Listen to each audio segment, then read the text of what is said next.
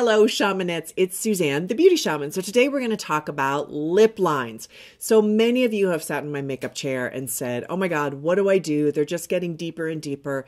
Um, I hate them. What you know?" And it and I know it can be become really, really difficult as we get older to treat the lip lines because we want to wear our favorite lipstick. We want to wear lip gloss. Oh my God, right? Like it's so, what can you do with lip lines that will help to minimize them over the long haul? We're going to talk about more kind of the long game when it comes to them. At the very end, I'll talk about some of the short game, but I'm much more supportive of the long game, of really taking care of our health um, and also doing external things that over time really do make a big difference. Okay, so before we get started covering this topic, uh, please visit my store at thebeautyshamanstore.com um, and sign up for my newsletter while you're there for insider tips, tricks, and discounts. And also be sure to hit the subscribe button and the bell to be alerted every time I upload a video. Okay, let's get going. All right, so the big question is what causes this? Why do some women have really deep lip lines and other women hardly get it at all? Um, what is the big difference? And the big difference, and if you don't remember nothing from this video, remember this it is a breakdown of the connective tissue.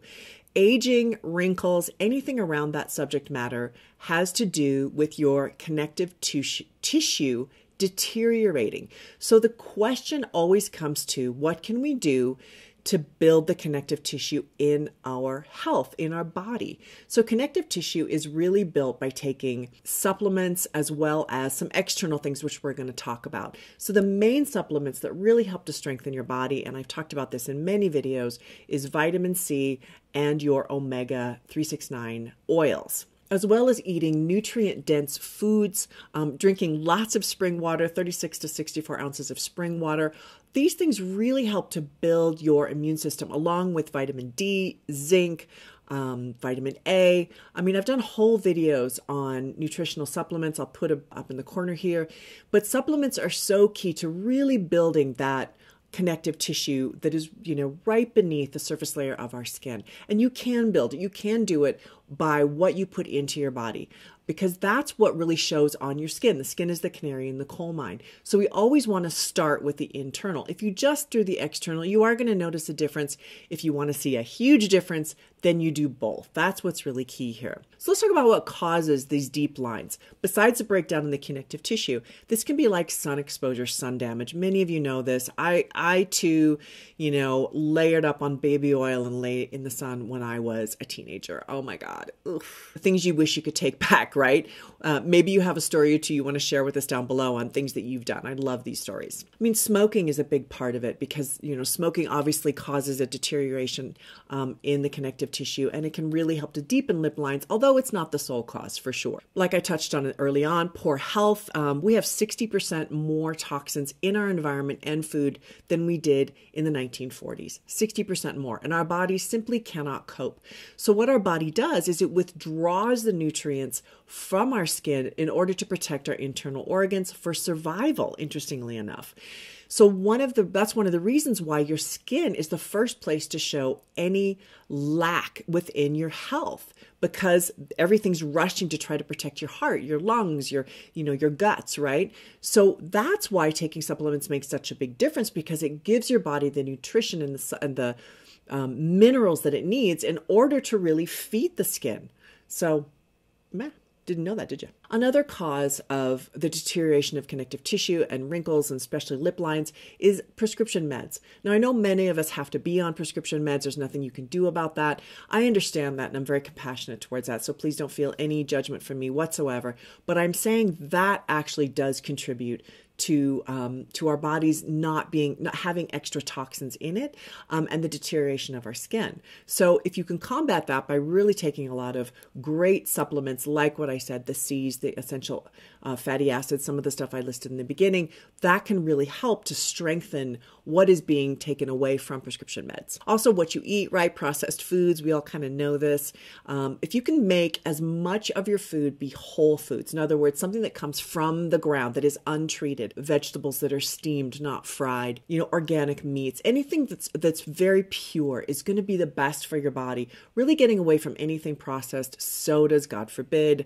Um, you know, caffeine can be cause a de- have a detrimental effect, although that's one of my big Eh, I like caffeine. And the last thing I would say is to get outside and exercise. This is one of the things that really makes a big difference. I'm just talking about external things that we can do here.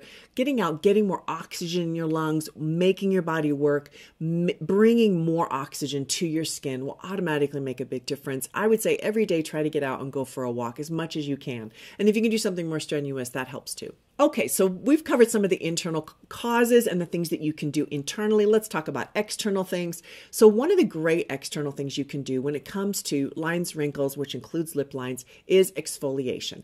So, exfoliation causes the skin to turn over. It does a slight damage to the skin, which isn't bad. You actually need to damage your skin slightly in order to get it to rejuvenate. So that's why doing peels, microdermabrasion, some of these treatments we're going to talk about are so effective over the long haul because they are helping to get rid of that top layer of skin.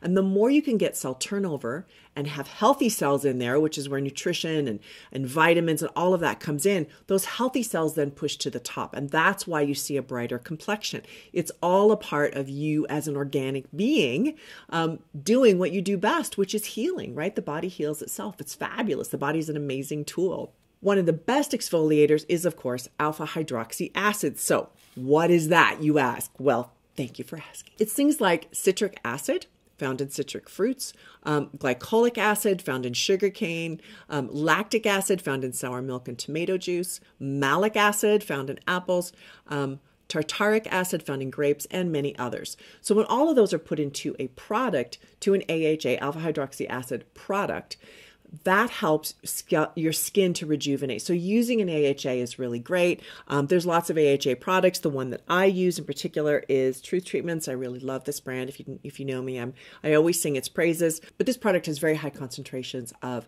alpha hydroxy acid, and using it every day helps over the long haul to really minimize that because again, it causes cell turnover. All right, using retinol. Um, that's not in my notes, but it just occurred to me. Retinol or Retin A is really great. Retin A is actually the prescription prescription um, level retinol. You can also get retinol over the counter. I would say watch your quantities. Um, anything between 0.5% and 1% is the lower end of the scale. Be sure you don't go beneath 0.5%. If you do, you're not going to see any difference at all. I use a 5% on my skin, and I notice uh, it doesn't irritate my skin at all. I've been doing it for so long. If you're a newbie, stick with the lower percentages. If you've been at it for a while, you can try the 5% what you notice when you do a lot of these, including some of these techniques that I'm going to talk about, is that after you do them, your skin looks bad. Okay. You look bad. Like you look a little beat up. It's red. Maybe, you know, for a few days, I've even had, you know, like a wound, like it scabs over. I mean, that sounds really disgusting. I don't mean to gross you out. But what happens is then the skin rejuvenates and my skin looks even better. It's like a process you have to go through. So whenever I do any of these treatments we're going to talk about, um, I'm sure to do them so that I don't have to be somewhere the next day and, and look halfway decent, right? All right, so things like acid peels make a huge difference. And that's something you do monthly with an esthetician. You go in, you get your acid peel done. It sounds terrible, acid peel. But again, it's fr- it's fruit acids. And a lot of times that's completely, you know, it doesn't hurt your body at all, but it does help to again exfoliate the skin. That's what we're looking for here. Microdermabrasion is a great strategy. I use an at-home microdermabrasion. I'm a licensed esthetician. I could use something more powerful, but I find this to be just fine. I got this on Skin Store. Um, I believe you can also get it on Amazon.com. Do check out my Amazon page, that's down below. This was $200, so again, we're getting kind of pricey. But I do this once a month, and it's great for just exfoliating that top layer of skin. You can also do microneedling, that does the same thing. So that just takes very small needles and punctures the skin, which sounds terrible. Some women have some blood come out, it's really, you know, a bit gross and you look beat up for several days. However, it does help your skin again to rejuvenate. That's what we're looking for here. Laser treatments do the same thing. Microcurrents. Um, this is a microcurrent machine that I use. This is Truth Treatments again. Um, Nu Skin also makes one. What what what these do is they get down and they strengthen the muscle. So say you have lip lines and you're doing your microdermabrasion, your peels, your AHAs, um, you're using good products, you're taking your omega 369s.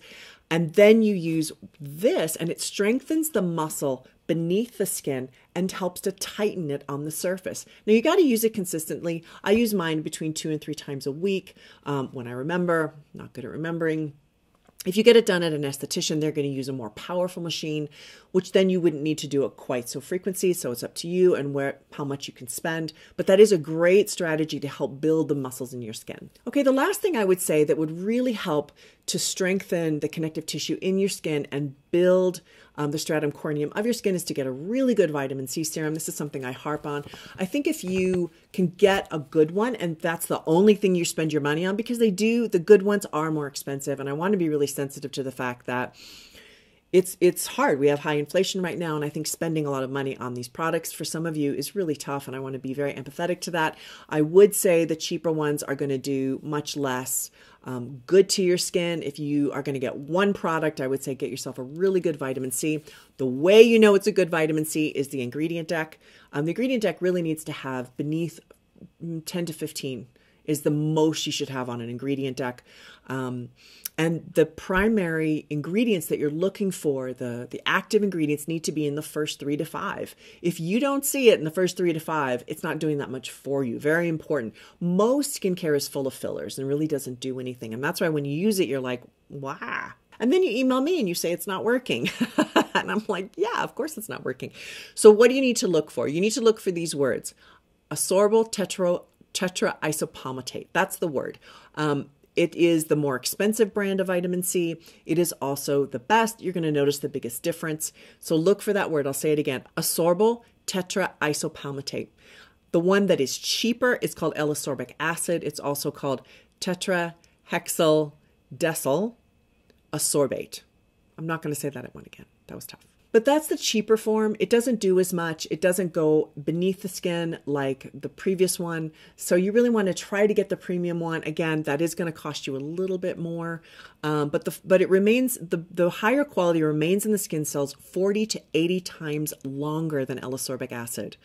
Um, and it has four times the effect. I mean, the difference is amazing. It's sort of like if you're eating fruit, but the fruit isn't organic and it tastes like water. It's nasty for one thing. And then it also doesn't really deliver to your body what it really needs because it's so full of um, chemicals that it's not doing any good for you. So why buy the apple? That's kind of my take on that. Um, and, and that example is the same thing for skincare. So that's what you're looking for when it comes to vitamin C. Of course, I use Truth Treatments. This is my vitamin C. It's very loved. This has 80% vitamin C. You only need two drops once a day makes a big difference. And you can focus it. Like I take a vitamin C um, and use it especially around my eyes because my eye area tends to be the area for me um, that needs the most help and support. For some of you, it is your lip lines, like what we're talking about. It can also be lines here, wherever it is. You can use it more on those particular areas, completely up to you, but it is a way more powerful to get ones that have the right ingredients okay, nothing that I'm talking about is a quick fix. It's all going to be a daily kind of exercise or a daily habit, right, in order to take really good care of our bodies. I would say if you were looking for a quick fix, now I'm not against quick fixes. Sometimes a quick fix is great, makes you feel amazing. I think just don't not do the ones that take a lot longer because then the quick fixes will only work for a short time and you go right back to where you were at the beginning. If you're doing both and you decide to, to do the quick fix, right, you're doing all the health stuff um, and the external, the dermabrasion or whatever it is, and then you choose to do a quick fix, which is basically Botox, fillers, that sort of thing. Um, then you'll really be like, wow, that really makes a huge difference. So it's up to you on what path you take. Um, just so you know, I don't use Botox or fillers. Um, that's a personal choice. I don't pass judgment on, on anyone for using them. Um, I just don't as a rule uh, because I present to you and I want to present to you in a really honest way. So I don't use um, those particular things, but go ahead. But that is absolutely the quick fix. And if you can afford it and you want to do it, knock yourself out. Just don't not do all the other stuff. Okay. That's my plea, I guess, to all of you. So I hope this has been helpful when it comes to lip lines. I really want you to wear that great lipstick that you're in love with. Like I'm in love with this one. This is by Jane Iredale. It's called Ella. I love this color. It's so nice. and anyway, I hope you're doing great. I hope you found this helpful. Please write down below. I love hearing from you. I love your questions. It definitely helps me to grow as a person person and in my research and in my learning. So thank you so much for being my great catalyst for growing as a person. So I appreciate it. Have a great day and thanks for watching.